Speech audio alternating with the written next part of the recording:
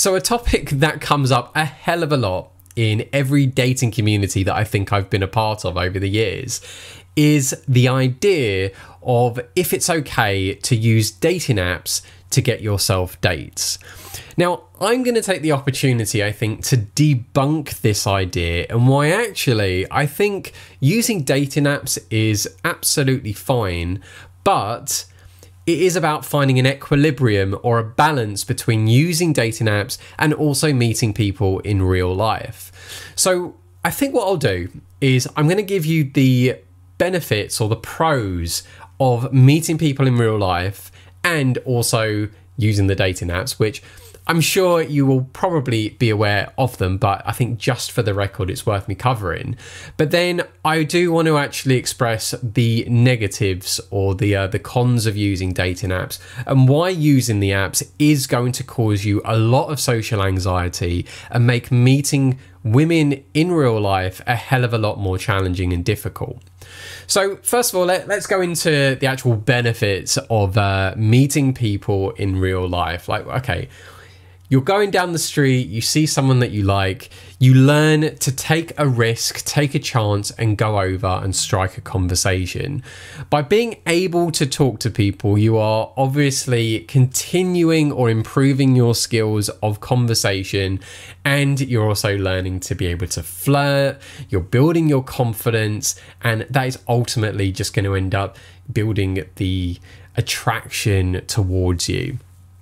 And also, if you think about it, if you're walking down the street, and I think David, one of my other clients, David Thorpe, I think he said this, uh, that doing street approaching or doing daytime cold approaching or even just cold approaching at any time of the day uh, is like doing street Tinder.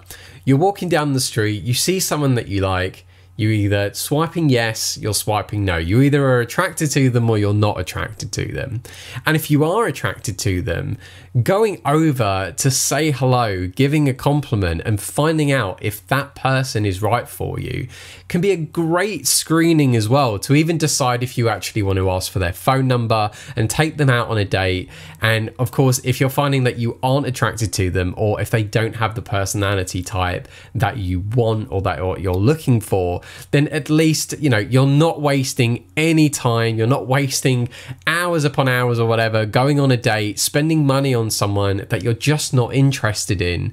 And ultimately, you are able to filter people out a lot better than you are if you are using a dating app.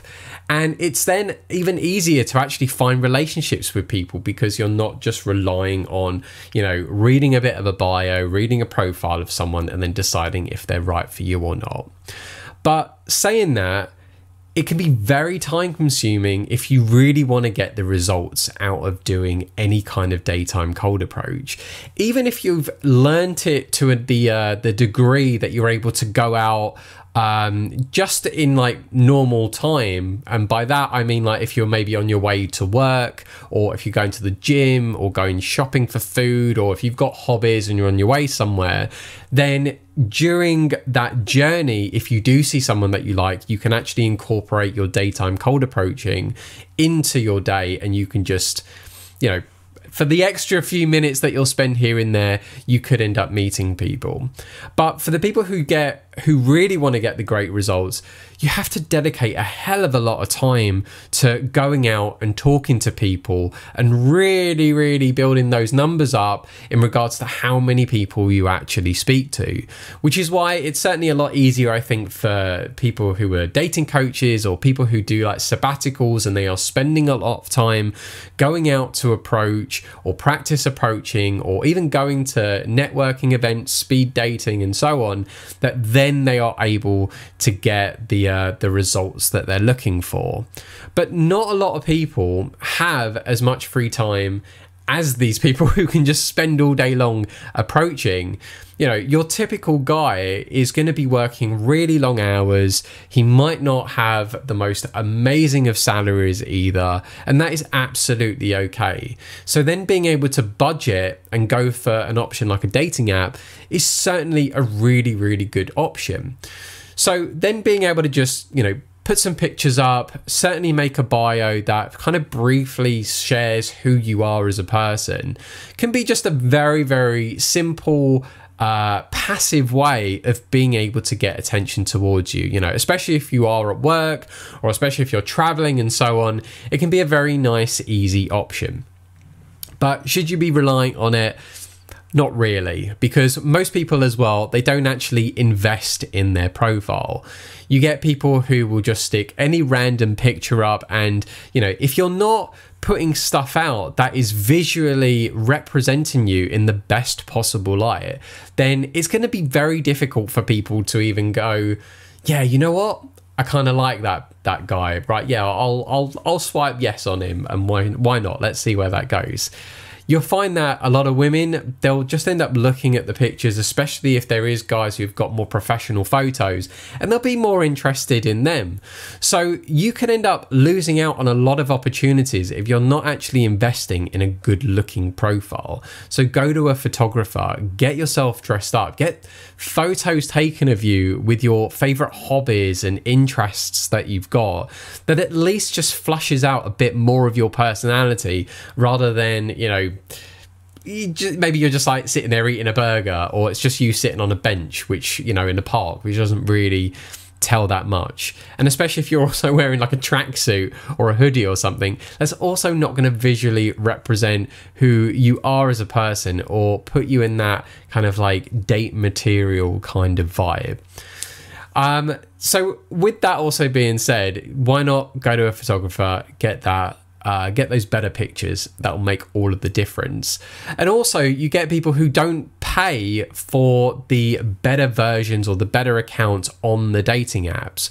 And sadly in this day and age especially with how the dating apps work and how the algorithms are people who are paying are going to be more favorable. But even if you're paying, that doesn't necessarily mean that you are going to get matches. So you do have to make sure that everything is as good as it possibly can be on your profiles. Otherwise, you could be paying money and not getting any kind of result possible. So there's kind of like the balance really with uh, I've kind of thrown in some cons in there as well. But there's your kind of balance of at least you know why you should end up using uh, dating apps as well as why definitely you do need to be meeting people in person. But where does the anxiety element come into this? Well i'm going to just sort of like go through my notes i think on this one because it's important that i can uh, cover i think all of the uh, the points here. And the first one is that a lot of guys can get the addiction to swiping. It's very easy to just continuously keep on saying yes to everyone. And I have met guys who do that. They think, oh, well, if I just keep saying yes to everything, that's going to improve my matches. But that's not how the algorithm works. The algorithm matches you with people that you find attractive and then other people who find you attractive, of course. But if you keep just liking everything, it's going to kind of like dissolve what specific thing you're looking for. And in fact, the matches, or the not even the matches, but actually the images of the women that are being shown to you are just going to get worse and worse because you're not filtering, you're not showing the apps what kind of type of woman you're attracted to. And so it's just going to literally give you anything, if not the worst of the bunch, I hate to say, for you to just end up picking from. And if you're saying yes to them, then it's just going to assume that these women that are clearly not your type are your type. So there is an addiction with swiping, and, and it's important again to just make sure that you're doing it appropriately if you can. But think about the effects that swiping or that addiction to swiping can have on your brain. Um, I was going to say physique there, but it's really more on your brain you're going to be releasing all of those endorphins and uh, and dopamine hits. That's going to just make you feel good as you're swiping, as you're seeing these women, you know. And I've known men actually, which uh, I hate to say, who almost treat uh, swiping as like uh, soft core, you know what. So just be wary that you know that the addiction to um, to swiping can be very much very similar to like a sex addiction. And it can then make it very difficult when you are um, on dates with people in real life, in a sense that you can essentially get performance anxiety if, let's say, the date were to go well, because you're encouraging your body and you're encouraging your brain to only get that hit when you're swiping. So there, there is. Uh, I'll, I'll, have to see if I can find. That I know there's been some um, some experiments and tests on that. I will have to try and do my research again and try and bring that up. It's only because I've I've recalled it, but there is again that danger of being addicted to uh, to swiping, and also think about the reaction that you get when you're not really getting the results that you want from all of this swiping that you're doing. You're gonna get very depressed and feel very anxious about the fact that you're not matching with anyone or you are matching with people, but they just certainly aren't your type. And you're going to think to yourself, are you are you even attractive? Are you ugly? Does anyone even want you? Maybe you're just the lost cause. You know everyone else seems to be getting good matches and meeting attractive people, but you're incapable.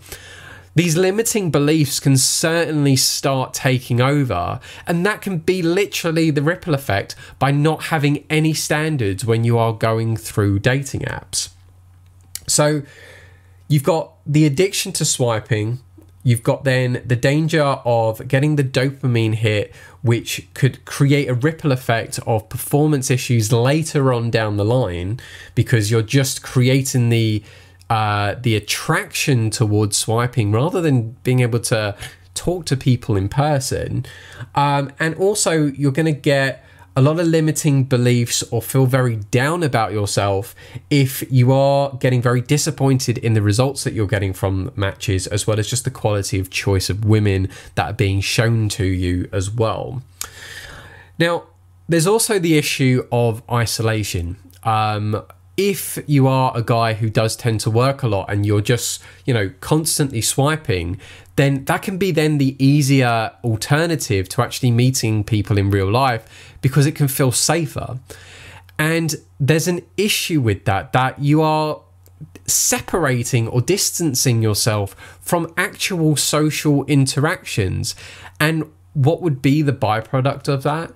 Social anxiety. So it's you know there is almost like a stepping stone there's like a chronological order of things that can happen to you and if you end up staying in isolation for too long, then that's only going to cause even more problems. I mean, you could go down the danger of becoming more agoraphobic, certainly uh, creating a lot more social anxiety disorder within yourself, um, as well as uh, what's the, the word for it? You can create. Um, oh, what's the word? Psycho something. It's not going to turn you psycho. Um, hang on, let me just search for the word. I can't remember for for the life of me here.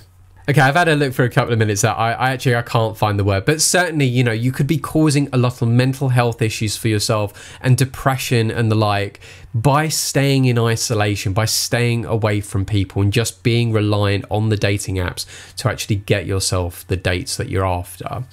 So again, this is why I do think it's important to actually balance going out and constantly talking to people, meeting new people, even because at least it is stopping that comfort zone from shrinking. And, you know, and it maybe if it's not expanding, at least you're getting it to stay the same, but you are learning new skills, you're uh, developing your confidence, you're keeping your anxiety at bay. And that really is the important thing. But if you are using the apps, invest in good photos, invest in a good bio, uh, bio. Do go for the paid option. I hate to say it, but you know, with this, you have to spend money, especially if you want to get the better quality results. And also, don't be uh, just swiping yes on everything. Be picky. That is what's going to also get you the better results on the apps. But also on the flip side of that, if you can go out, meet people, approach, talk to strangers, converse, even if you're not going out to try and uh, get yourself phone numbers to go on dates. Just the skill of talking to strangers is such a great, unique one that is beneficial in so many ways.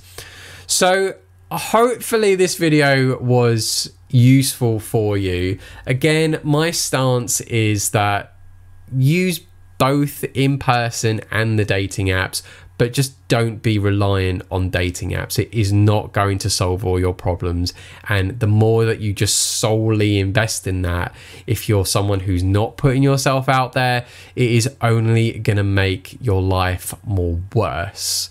Okay.